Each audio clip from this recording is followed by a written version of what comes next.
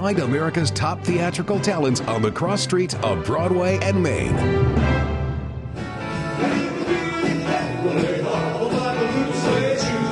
Million Dollar Quartet. The story is about really Sam Phillips, who discovered all four of these icons uh, at Sun Records in uh, Memphis, Tennessee. Ten seconds, and I knew I had me my next star.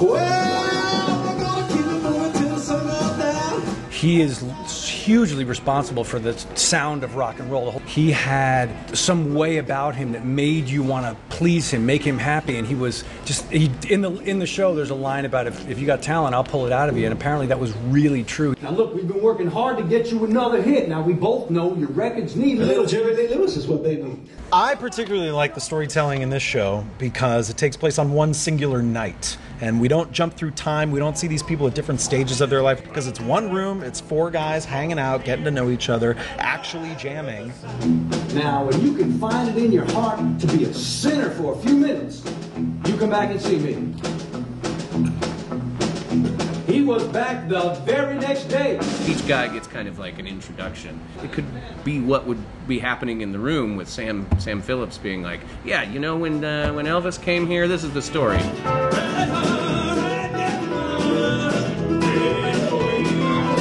Yeah, this was 1956. Elvis was 21 or 22 years old. He was definitely a shy kid, and uh, Mr. Phillips kind of helped pull this uh, this star out of him.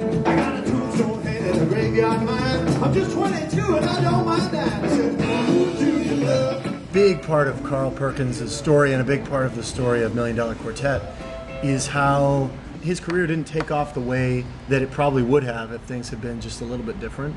And then shortly thereafter, by God, there is Elvis Presley on the Ed Sullivan Show. Singing Blue Suede Shoes. My song. He did have this huge triple crown hit with Blue Suede Shoes. Elvis did record it, and Elvis made it an even bigger hit than the Carl Perkins record. That pivotal moment, unfortunately, kind of took the wind out of Carl's sails in terms of having a successful career.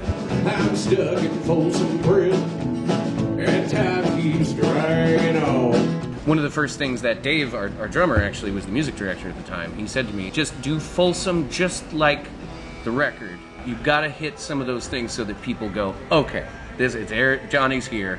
Then you can start finding your own performance."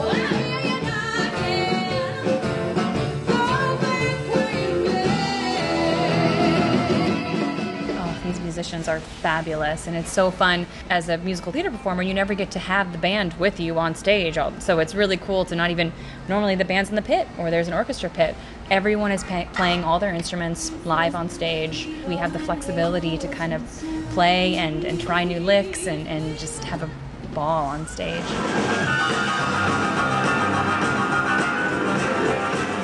a really, really cool thing about this show and the casts that it typically brings together. You're looking at uh, veterans of multiple, multiple productions and iterations of this show.